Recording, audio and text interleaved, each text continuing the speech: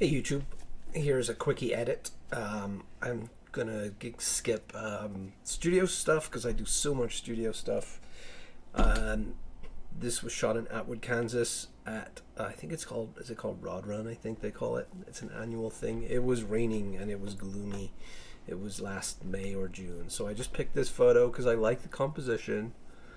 Um, I like the potential. But let's talk about what sucks about this. This truck sucks. Um, so I'm going to make this effectively.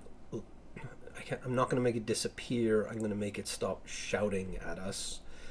This, the background here is, oh, it's touch and go. What I'm going to do with this, I have to be aware of whatever I do in terms of pulling out the details in the car. I'm going to have to be aware that I don't want to do it on the truck too. Mean on the on this shed too. So let's just play around a little bit. Let's um, start with tone curve. This is kind of more in the middle and up the top. So I'm going to do an S curve, but I'm going to start a little bit lower.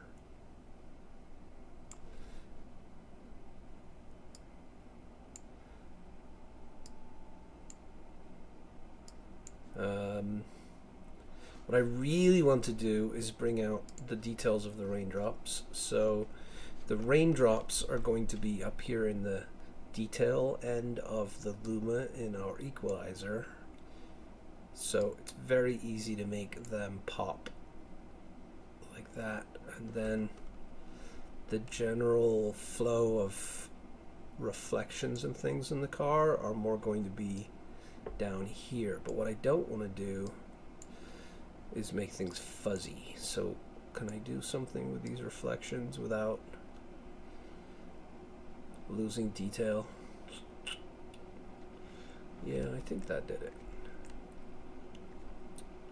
So let's see how else we can sharpen this. Let's, so haze was introduced in 2.4.2, haze removal, which can really give a punch. It can really give kind of a saturation punch, which it definitely has here, but I don't want it to be quite that much.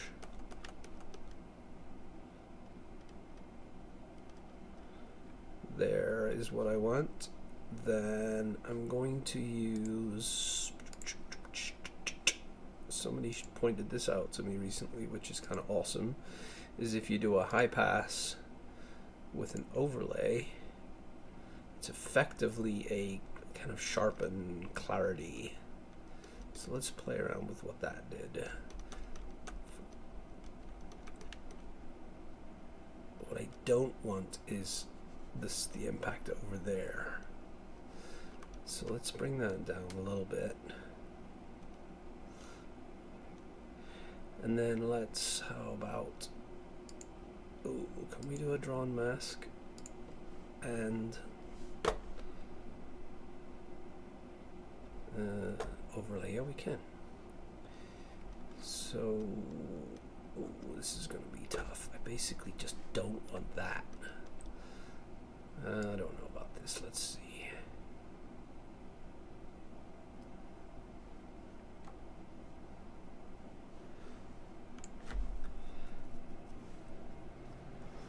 Yeah, that worked. Now let's work on this red truck, which I hate. Um, but it's pretty much the only red we have in the picture, so we can be fairly lazy about getting rid of it. We can desaturate the red.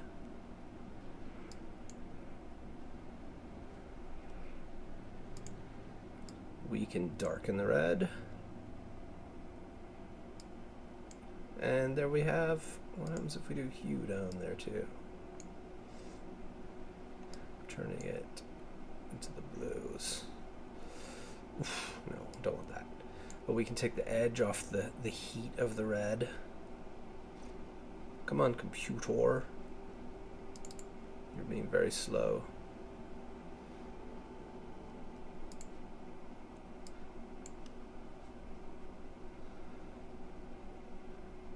There we go. So it's it's affecting the truck a lot. It's affecting the turn signals, and it's affecting the Pizza Hut sign, and I'm okay with all of that. So, I want this to be a little bit more ominous. I feel like I've got the I feel like I've got the major elements together here. I've got what I want out of the car. Do I like the car being green? Well, if I change the car color using something, I'm going to change the grass. And as you've probably known with me, I'm I'm fairly lazy around masks. But let's see if we can. What happens if we cool this whole thing down a little bit, temperature-wise? At a white balance? Yeah. Yes. Yes.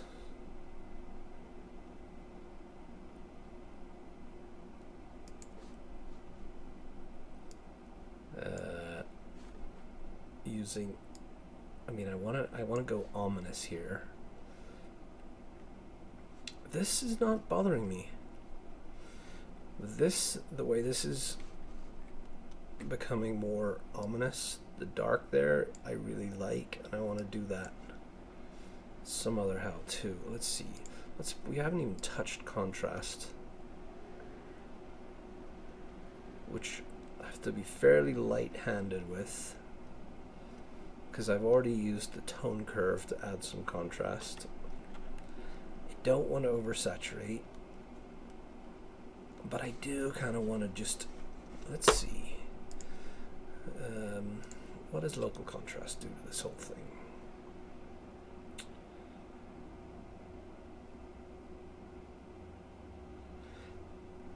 It's good, but it's it's taking the car a little towards cartoon. Like too much. But it's doing a beautiful job of this wet road, so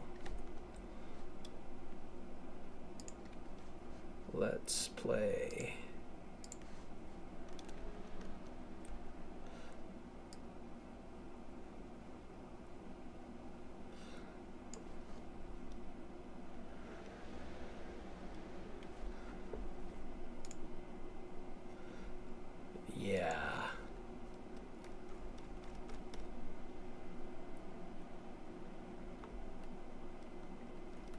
Yeah, I like that.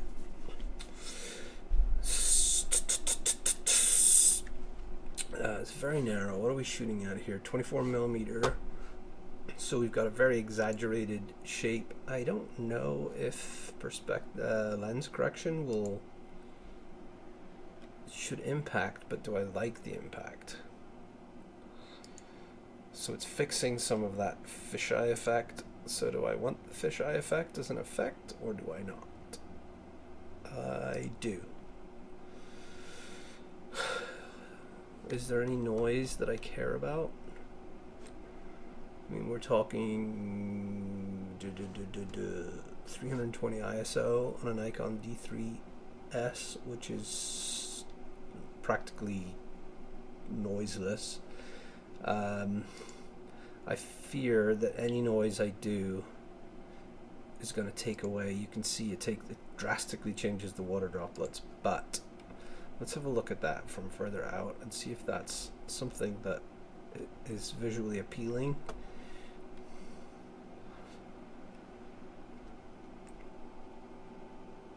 It's definitely slowed it down. Um, I feel like we're losing. That's gone mush. So in this case, this is really using denoise as an effect rather than for denoising, and I don't want to do it. Uh, and I don't think there's, I don't, I think I'm good with this.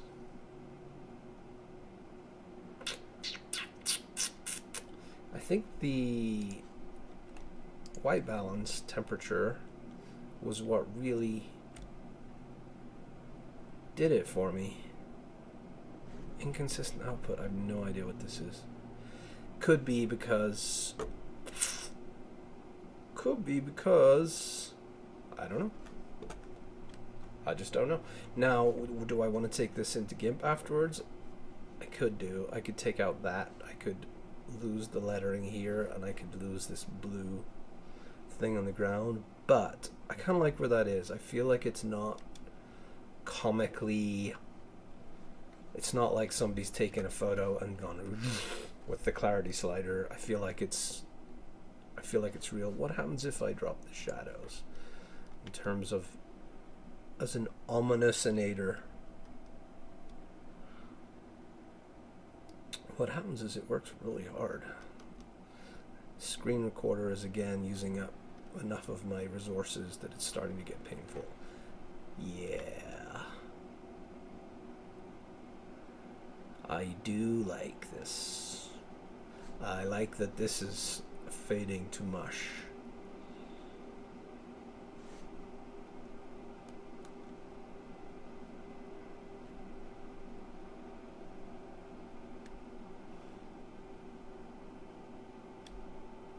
I do like that. In fact, talking about fading to mush, do I in fact even want to go a little bit further with that? Oh, come on, don't be so slow.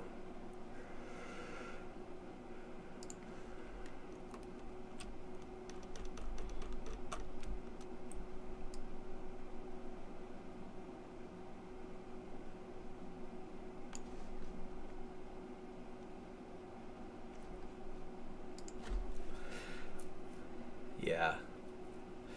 I mean, I could do the same with this over here, but this really should be a mask.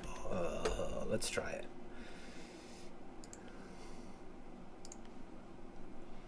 Actually, have to work now.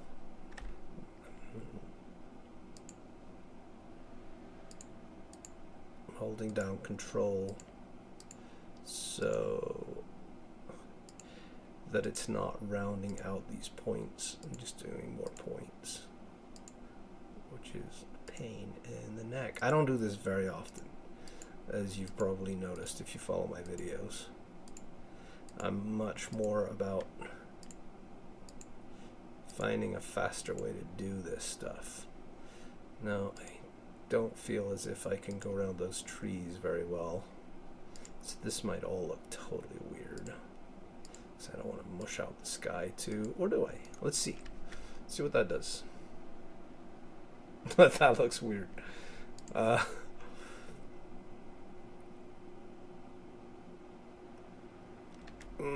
it's got potential, but it looks weird right now because of the sky. Well, because of the trees. To kind of blend all that in. And then this edge is bad. But let me take, oh, I like that. I do like that. The only thing that's wrong, come on machine. What are you doing? Yeah, it's all the screen recorder. Darktable's not even in the top 10. Um, so I'm going to have to fix this line. So I can do that possibly by softening the mask. Might look okay. Or I can do that by moving around the points. If I right click on the image, shows me the masks that are there.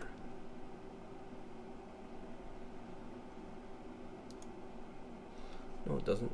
How do I see those images? Yeah. Um, the car's okay. You know what? I could be very lazy and I could just do this.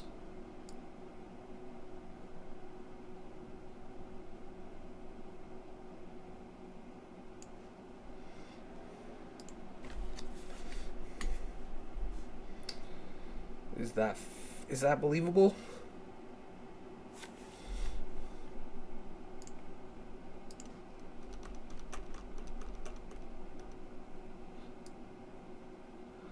From a depth of field perspective.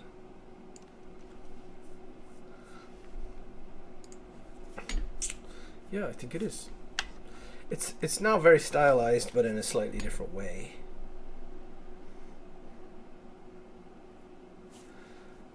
not sure that this is believable, but I'm also not sure if that if my eye is drawn to that naturally. This is totally believable. The tree is totally believable. This is totally believable. The truck, not so sure. But you know what? I'm going to call it done. I might come back in 10 minutes and look at it and think, oh, but that's a quick edit. Quick 15 minutes. Uh, a little bit different for me, something outside uh, not in the studio. I hope you enjoyed it. Please like and subscribe. Uh, I'm really enjoying doing this YouTube channel actually. I'm really enjoying doing darktable stuff.